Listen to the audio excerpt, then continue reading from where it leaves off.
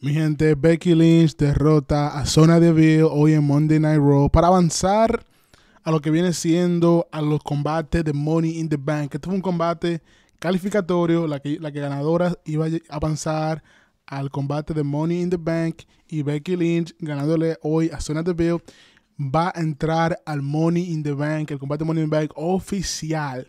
So, The Man va a tener la oportunidad de su vida para poder ganar el maletín, repito, Money in the Bank. ¿Qué te opinas? Prende tu like, activa la campana. ¿Será Becky Lynch la próxima señorita Money in the Bank?